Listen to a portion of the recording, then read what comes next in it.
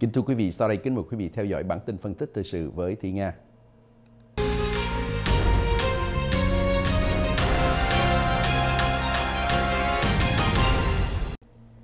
Thị Nga kính chào quý khán thính giả và mời quý vị theo dõi bản tin phân tích thời sự.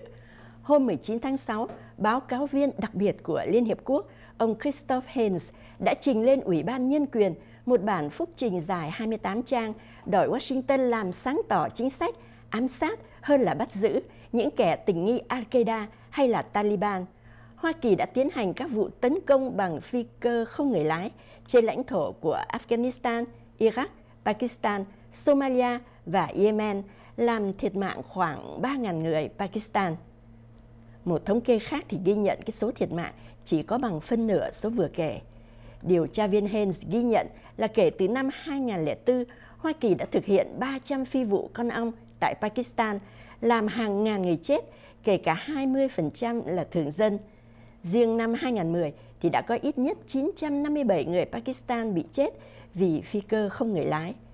Hội đồng Nhân quyền Liên Hiệp Quốc sẽ thảo luận việc Hoa Kỳ tấn công bằng phi cơ không người lái có phù hợp với luật pháp quốc tế hay không. Vì thiếu minh bạch nên số liệu các báo cáo liên quan đến thương vong do phi cơ không người lái của Hoa Kỳ có sự khác biệt nhưng đã tăng dữ dội trong 3 năm qua.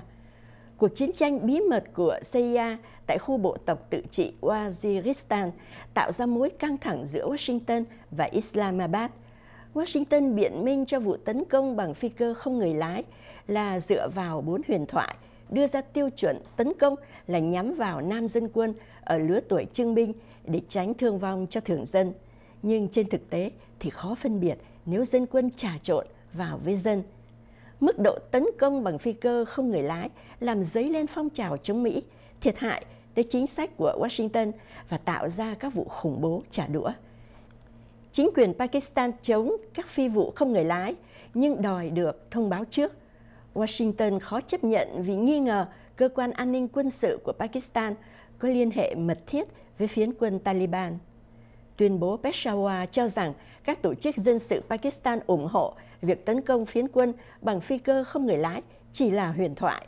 Thực tế, từ 70 đến trên 90% dân Pakistan trong và ngoài khu bộ tộc tự trị chống lại. Cao ủy Nhân quyền Liên Hiệp Quốc Navy Pillay tuyên bố sau chuyến thăm Pakistan là chưa có gì chứng tỏ những người bị phi cơ không người lái tấn công là phiến quân hoặc có liên hệ tới các hoạt động thù địch. Thi nghe tường trình cùng quý khán thính giả.